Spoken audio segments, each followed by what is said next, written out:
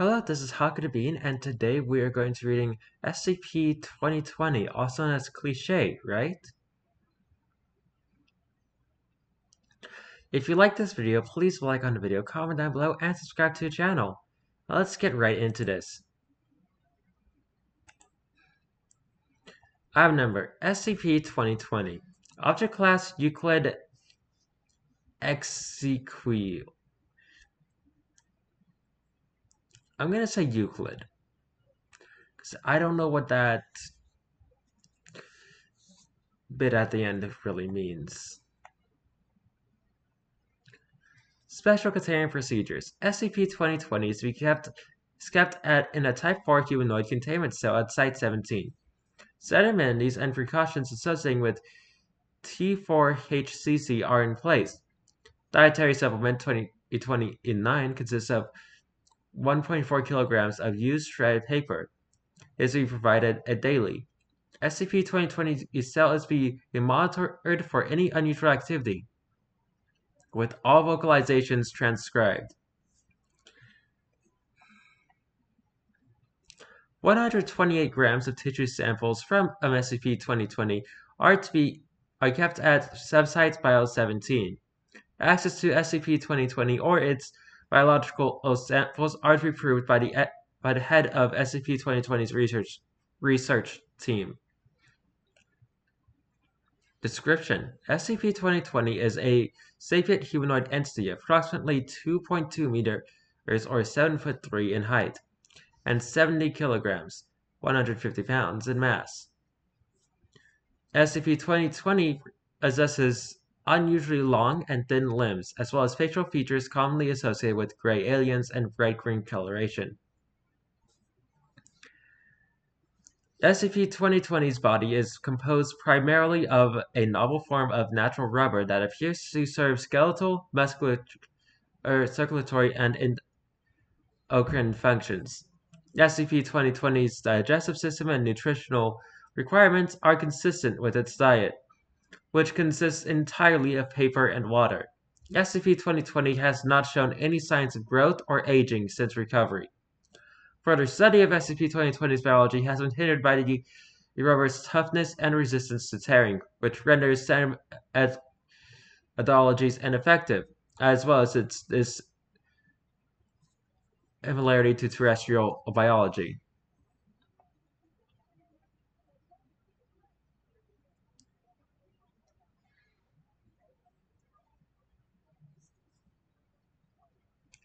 SCP-2020 claims to originate from a technologically advanced extraterrestrial civilization, but will make wildly different claims regarding the nature and location of the civilization when questioned.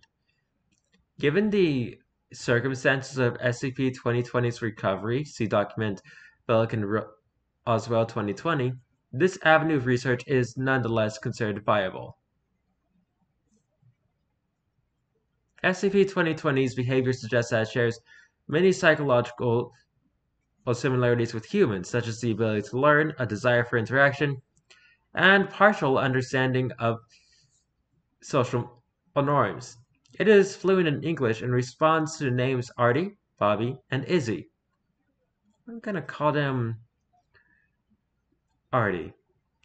It has not engaged in, in hostile behavior and appears indifferent to its own containment. Artie will frequently attempt to engage personnel in conversations regarding its desire to write science fiction, and numerous ideas it has for a science fiction story. It has thus far failed to produce any actual writing, citing an inability to choose a concept. See attached transcript for details.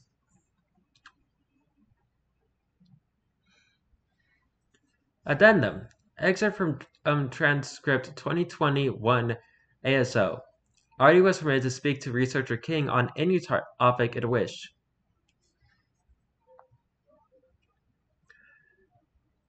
I don't know what voice I'm going to do for this. Okay, I kind of thought one. No, no, wait, guys. I have an idea. A better idea. There's this facility, right? It was made by a someone at some time in the past to, to bring the world back from the apocalypse. Like something could blow a big hole in the earth, and after the facility went game over, play again, and and Y slash N. That hole could just be the Mariana's Trench because the facility can do pretty much anything with physics and technology, I think. Cliche, right? I'm gonna say a, a, those two words exactly the same every time because that adds his way, way funnier. Um, I don't really know how exactly this fits into a story or anything, but I mean, it could be the setting. I think. I guess I can think. Guys, I had another idea. Forget that one. This one. This one is a brain in a jar. That's a guy. Cliche, right? But like the idea here is that I just run with it. Crazy nutty professor type, nutty inventions that don't work, complete nonsense. Yeah, I've actually heard this story before. But it's all working. And guys, that guy and his adventures could be like a superhero or something. Jeremy Vacuum, the vacuum brain in a jar with germs. That sounds wrong. I'll think of something.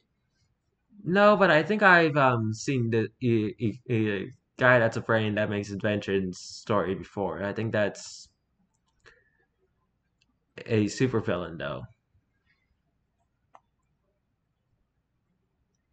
though. It's okay, it, okay because I just got this awesome idea. There's a wizard. Wait for it. From space. A space wizard. Like a Jedi? Guys, that's not the only part though. He's a cyborg and he's with five with five cat girls. And guess what the twist is? That's right, the cat girls also cyborgs and they fight crime. Cliche, right?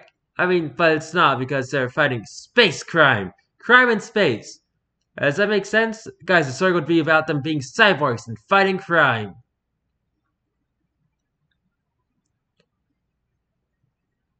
I mean, minus the space cyborg part, I think I've seen uh, something similar in Tokyo Mew Mew, but I didn't really watch it that much. Actually, no, because I just got a better idea. Wait, it's an AI, right? An artificial intelligence on a computer. Cliche, right? Well, it makes simulations of the perfect world for that person and then and then it eats their brains. Guys, so maybe it's not actually doing that, and I or I guess the characters don't know for sure that it's actually doing that because we can't see inside it. But here's a plot twist though. It then puts a fake brain in them and makes the bodies convince other people to go into the simulation. Into the simulation. What did I just say? Simulation. That's not even a real word. It's a horror story or a sci-fi horror. Science horror story. Hey guys, here's an idea for you. I just got this idea.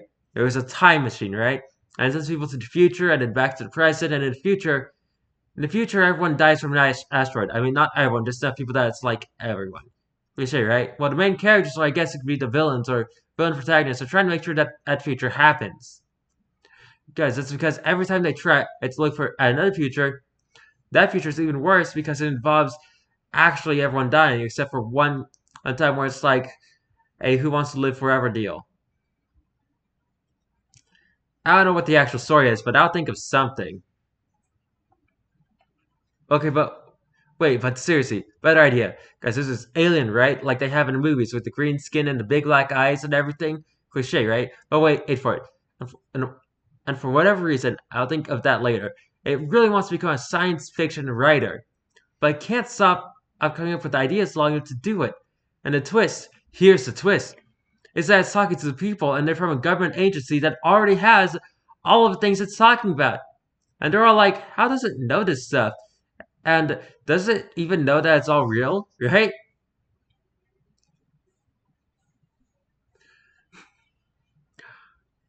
Okay, so he just described himself. Wait, Wait, wait, wait. Two words. Just two words. Laser butt disease. Wait, guys, that was actually three. That was three words. This is going to be harder than I, I thought. I think laser disease would be an interesting idea. If we're gonna pick from um two of those words. well,